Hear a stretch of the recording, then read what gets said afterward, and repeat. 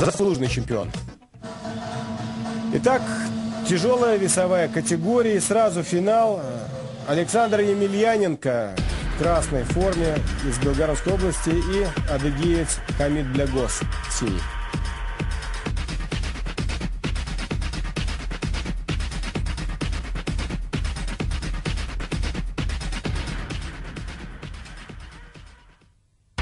Фамилия Емельяненко очень знаменитая в боевом самбо, в смешанных поединках, в прайде, в рингсе. Э, его брат является сейчас самым сильнейшим бойцом мира.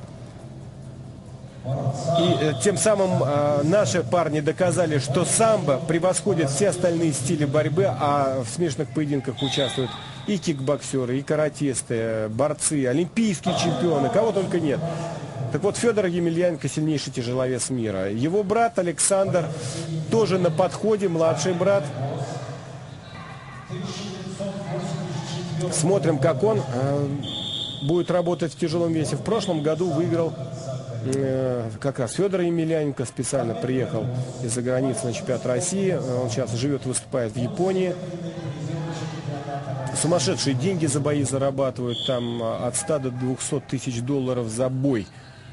Э, представляете, есть за что биться, но 50-тысячный э, зал, битком, билеты где-то по 1000 долларов продаются.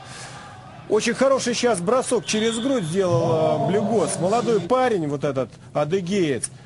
И вы посмотрите, как минимум судьи должны там в 2-4 балла оценить.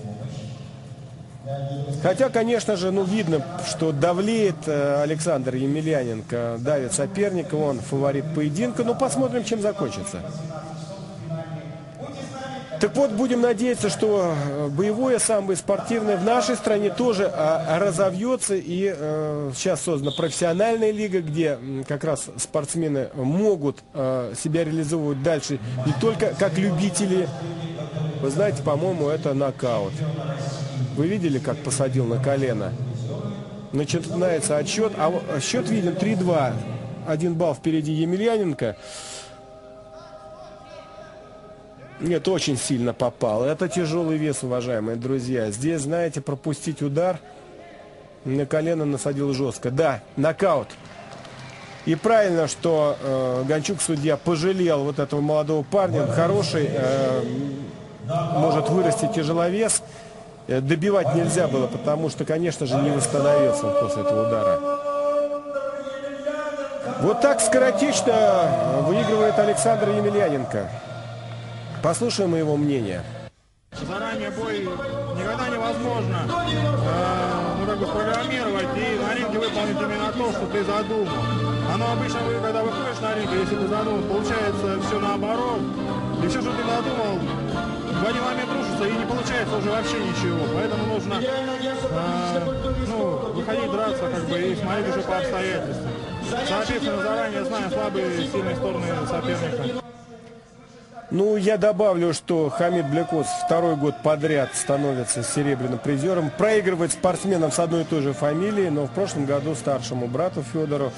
Ну, а вы видите, третье места э, заняли э, питерский спортсмен Сергей Казановский и адыгеец э, Тугус Алий. Николай Зуев вручает э, почетную награду э, победителю в тяжелой весовой категории. Очень теплая атмосфера была на протяжении всего турнира. Единственное, к сожалению, не приехал почему-то министр спорта э, на чемпионат России. В течение двух дней он проходил. Вот ни разу не посетил. Очень высокий класс.